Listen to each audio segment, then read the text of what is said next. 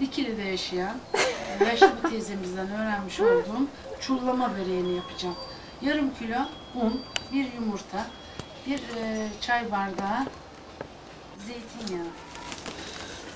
Daha sonra dinlenmesi için nemli bir bezin altında bekleteceğim.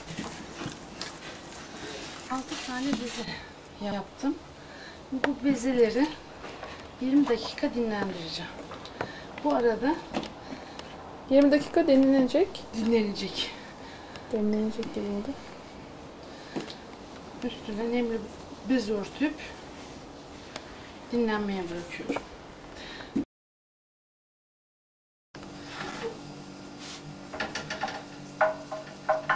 Yarım tatlı kaşığı tereyağını koydum. Tavada ısınırken bir su bardağı e, pirinci e, 20 dakika tuzlu suda haşladım.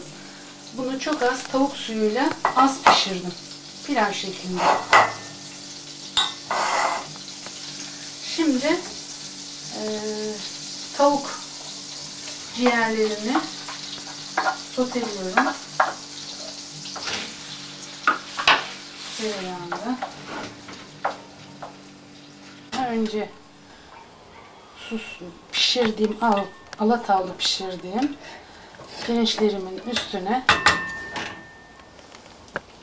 kavurmuş olduğum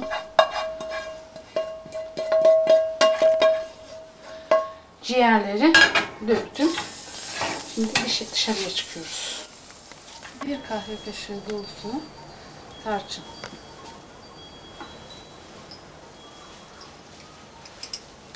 Biraz yeni bahar.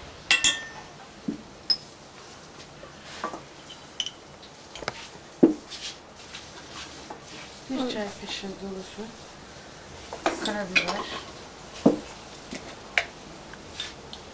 Bir kimyon. Ee, Bir su bardağı kavrul, kabukları çıkmış kavrulmuş badem. Bir su bardağı üzüm, sarı üzüm.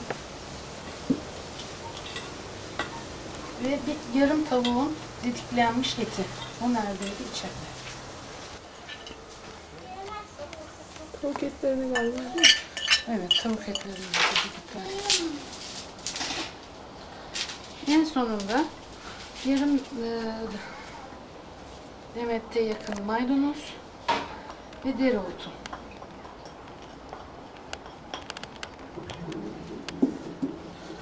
Hepsini güzelce karıştırıyoruz. E, Üç tane karanfili dövdüm bir peçetenin içinde ve rendenin ince, ince kısmıyla da Ha, tamam. e, muskattan. Ya O da e, dörtte bir e, çay kaşığı dolusu olacak. Bunları da böyle pilavımın üstüne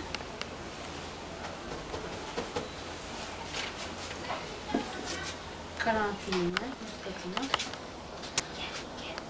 şekeri, yarısını e, pilavın içine, yarısını da şeyin yufkaların üstüne serpeceğim.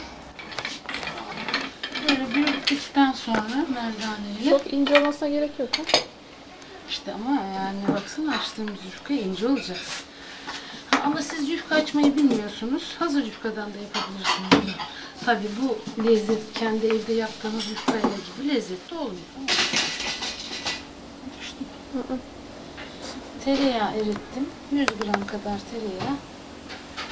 Açtığım yufkayı e, yağ İkinci kat değil mi? Evet. İkinci kat tereyağı katlara.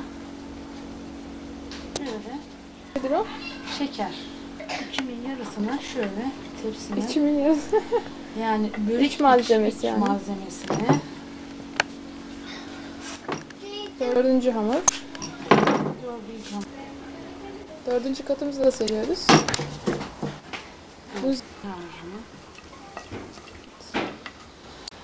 yeniden Evet, yeniden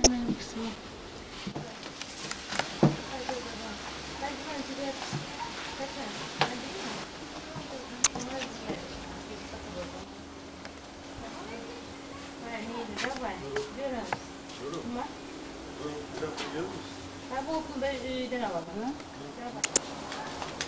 Yağımızı bitirdik. Az şeker. Pişme hazır. Fırına götürüyorum. Nedir o? Tavuk suyu. Çok fazla olmamak şartıyla